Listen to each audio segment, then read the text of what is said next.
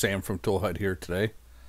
Today's project is we have a 2017 Ford Escape that's been in a front end collision. It's at a body shop, and the body shop has replaced the cruise control module on the front bumper. Okay, so the body shop's only concern is the dash has an error. This is collision warn, not available. So this is where we're going to start. The first thing we need to do is we're going to need a scan tool. We're going to need to program the cruise control module. Uh, it's my understanding that either FJDS or IDS will perform this function. I am using the IDS to do this. You're also going to need a scan tool that will perform a CCM configuration. Um, again, I'm using the IDS. I'm not sure if any other scan tools will run this function. And then the next thing you're going to need is a straight road that you can drive for about 15 minutes above 30 miles an hour. The directions say it takes 5 to 15 minutes, and I have had them take as long as 30 minutes. So be prepared. Uh, it's going to be a drive down a straight road, and you have to maintain a miles per hour over 30 for the entire time, or I believe the timer starts over. The first thing we're going to do is we're going to open your IDS. We're going to start a new session. And we're going to allow the IDS to communicate with the vehicle and ID it for us. So we're going to start a new session, choose all other. And it is an escape. I'm sure a Kuga is something similar to it that's sold somewhere else in the in the world. Never seen one, but I'm sure they're pretty close to what we're working on here today. So, so I guess if you're working on a Kuga, that you can follow the same procedure.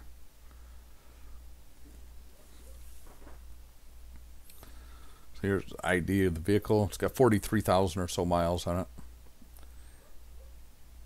The first thing I like to do is I like to read the codes, especially when I'm doing body shop stuff saves you a lot of trouble later on down the road uh, if you read the codes and know where what modules are communicating which ones aren't. And since this one's just been completed, well, this is kind of my post scan as well. So you can see we have lots of modules on the vehicle and we've got lots of codes in the body control module. Um, mostly uh, lights type stuff and the fact that it was in a front end collision uh, and it had a body shop, I'm not overly concerned with these codes.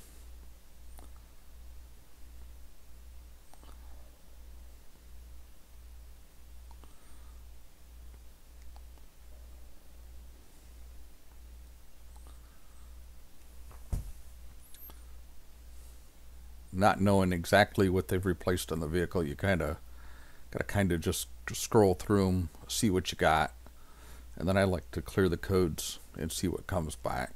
It's usually a pretty good indication of what you got to work on, but I always like to look through them and see what I'm working with. See if something stands out. It does have some snapshot data on it as well. Again, I'm not overly concerned about that because it's been in a collision. Uh, and the other thing I like to do is go down to the optional equipment modules and just look to see what did not communicate. Uh, just again, so I know which modules didn't communicate.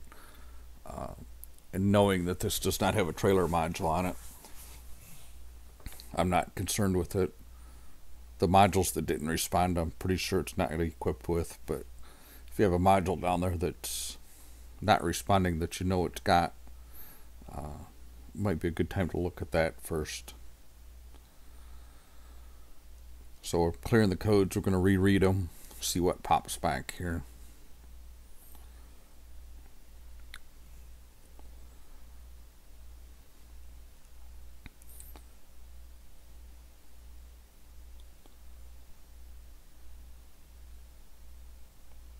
I use my screen recordings as a report, so if I ever need to go back and look at these again,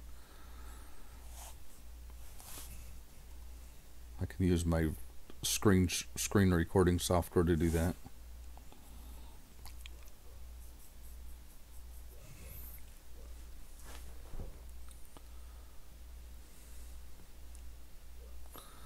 All right, so I'm going to scroll down. We're going to notice that the only module that popped back up with the code was the cruise control module, a U2100. So what I like to do is I like to use my service information and just look up this U2100 before I do anything. Let's see exactly what this code is. Um, says the DTC sets when the CCM configuration has not been completed and essentially tells me that I need to record or reprogram the uh, module. So that's what we're going to do. So we're going to go to program module installation. I'm going to go to the cruise control module.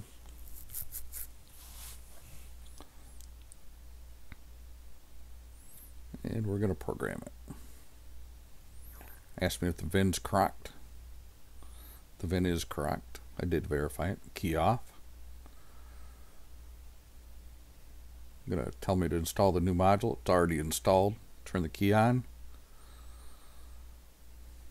And it tells me that it was unable to get the original configuration data because the body shop had replaced the module before I got here. So I'm going to tell it that I want the as-built data automatically.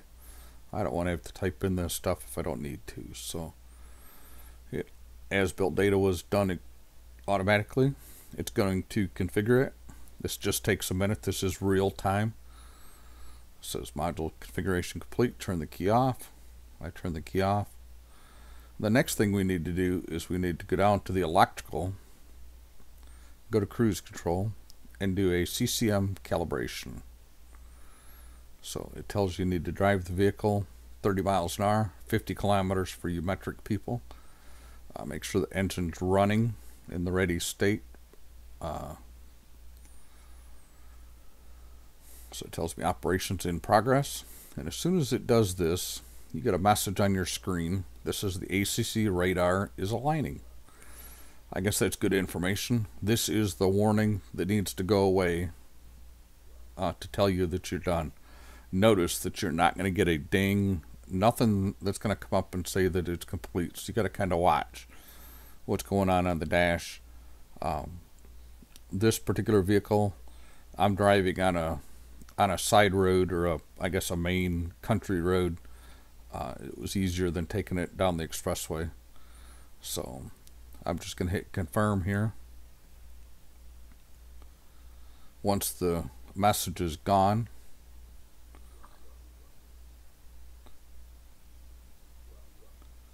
you'll hit confirm. And then it goes back to this screen here. Uh, pretty much that's all there is to it the biggest wait is waiting for that message to go away off the screen. I did read the codes again after it was completed, uh, just to make sure that that code did go away. Uh, thanks for watching. Please subscribe to my channel if you want to see some more videos. And remember, Tool Hut has all of the diagnostics equipment that you need. The OE scan tools, multi-brand scan tools, scopes, J2534 interfaces, laptops, new and refurbished, stable power supplies. Everything we sell comes with training and support.